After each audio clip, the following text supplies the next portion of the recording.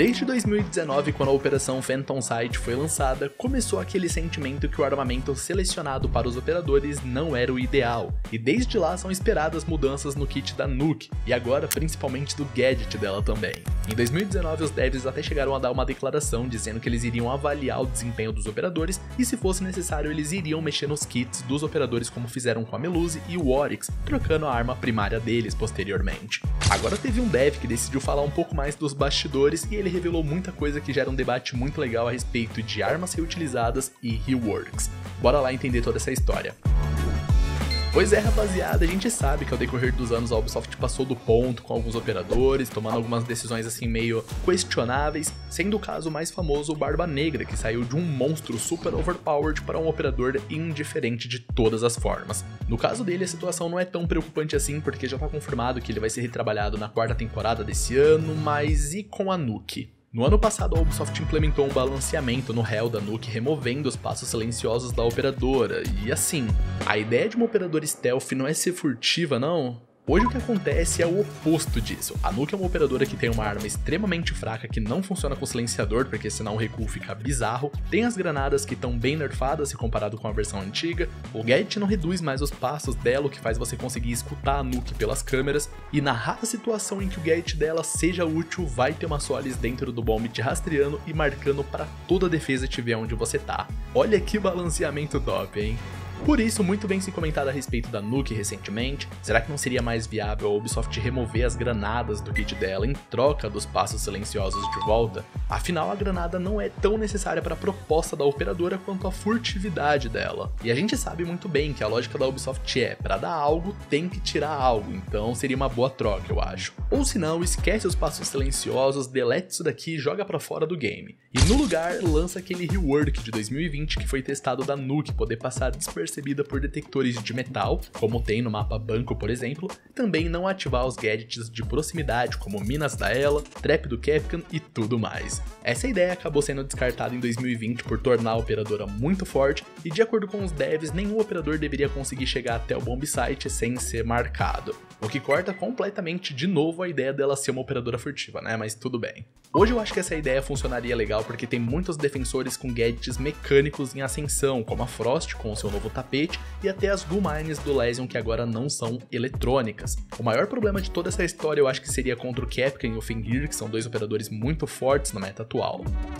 Será que a Nuke seria um problema recebendo esse update, mesmo existindo a Solis e todas as mudanças de 2020 para cá? No ponto de vista de desenvolvedor, o Justin Lawriger, atual game designer do Siege, ele comentou que sempre quando eles vão criar um novo operador, ele pensa nessa ideia de algo imune a gadgets, mas ele volta atrás porque ele gostaria de ver isso sendo testado especificamente na Nuke.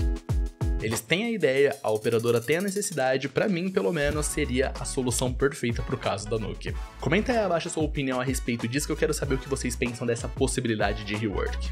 Inclusive, aproveitar para fazer aqui uma retratação. No vídeo do Deimos eu tinha comentado que o Justin era um antigo developer da Ubi, mas ele ainda tá na equipe atual, inclusive ele até respondeu lá no Twitter que a gente vai ver ele de novo no painel de revelação da terceira temporada. Já que ele é responsável pelos kits dos operadores, faz sentido ele voltar só na Season 3 porque é quando teremos uma arma nova confirmada no jogo, o que meio que descarta aquela teoria dos recrutas retrabalhados trazerem armas novas na Season 2. Inclusive, pelo fato da Season 4 retrabalhar o Blackbeard, que é um atacante, existe a grande chance do operador da Season 3 ser um defensor da Grécia. E isso vai ser no mínimo interessante. E só para fechar o assunto, durante o desenvolvimento dos novos operadores muitas coisas acontecem, como a Nuke que chegou a ser testada com um rifle de assalto novo que seria chamado de AR-57 e acabou ficando forte até demais, eles tiveram que descartar a ideia. Ou até a mira mesmo, que é um ótimo exemplo, que durante o seu desenvolvimento tinha uma tecnologia muito bizarra nos espelhos negros aplicada também. Mas eu, assim como muita gente da comunidade, ainda assim gostaria de ver a Nuke com outras armas, não que precisasse ser de fato um rifle, talvez uma terceira opção de primário, até quem sabe removendo a FMG9 e colocando outra, como a MP5 silenciada do Echo no lugar.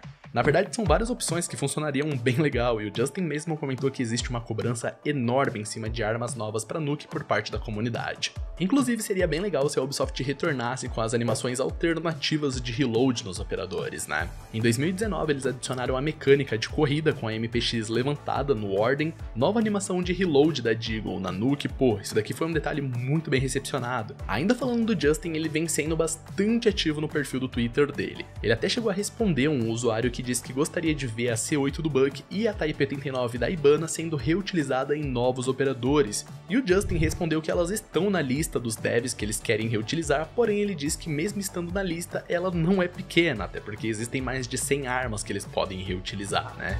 Mas assim, sendo bem sincero, ajudaria bastante eles chegarem nessas duas opções de armas se eles não ficassem reutilizando sempre as mesmas armas mais e mais, né, do Ubisoft. Nada me tira da cabeça, aliás, que eles perderam a oportunidade de ouro de colocar a K1A no ataque com a RAM, ainda por cima com opção de Miracog.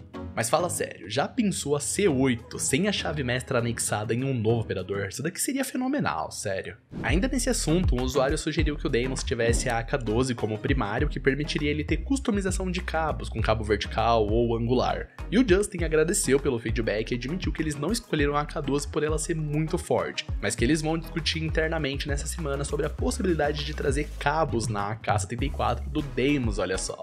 Pra quem não sabe, quando a Nomad foi lançada em 2018, ela chegou chegou a ter cabo na AK, mas isso foi dispensado ainda no TTS, se eu não me engano, não chegou a nem passar para o servidor final, então é uma coisa que a gente nunca viu antes. O Justin também comentou a respeito das armas novas e por que, que elas andam tão sumidas.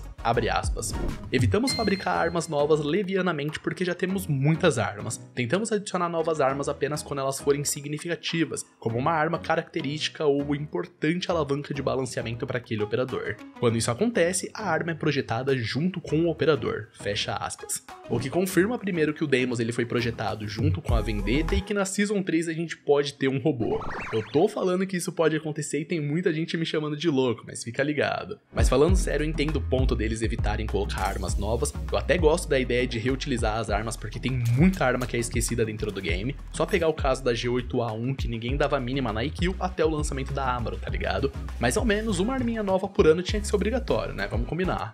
Inclusive, após a gravação desse vídeo, teve mais coisa. Começando por essa tabela do Justin, que foi atualizada com o feedback da comunidade, e no topo dela tá que a galera gostaria de ver a Alda do Maestro no ataque, a C8 sendo reutilizada com opções de cabos, a carabina do Jäger e a comando no Mose no ataque, F2 com opções de cabo de volta e a lista não para. Ele ainda explicou que existem armas que não podem ser reutilizadas sem um bom motivo, como as Snipers ou a SC3000K do Zero, que vem junto com o um personagem lá do Splinter Cell, ou até a UZK da Thorn, que interfere diretamente no balanceamento da operadora. Além do mais, ele comentou que é bem difícil da Scar do Barba Negra ser reutilizada porque isso mexeria com o balanceamento do operador, a não ser ser que isso mude algum dia, dando indícios de que talvez o Blackbeard possa receber novas opções de armas na Season 4. E olha só isso, durante o desenvolvimento a Han tinha C7E do Jackal como opção de arma primária, e então os devs decidiram colocar a R4C para ter um diferencial do kit dela que estava muito parecido com o da Gridlock.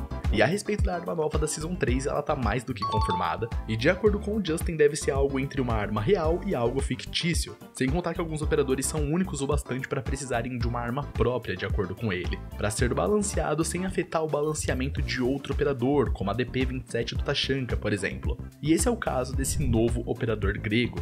E o Justin até comentou que dependendo da complexidade de criar aquele operador, eles não podem gastar muito tempo em uma arma nova, senão o operador não sai a tempo. Mas talvez isso mude no futuro, já que eles tiveram o mesmo problema com o Gun 6 e ele saiu no fim das contas.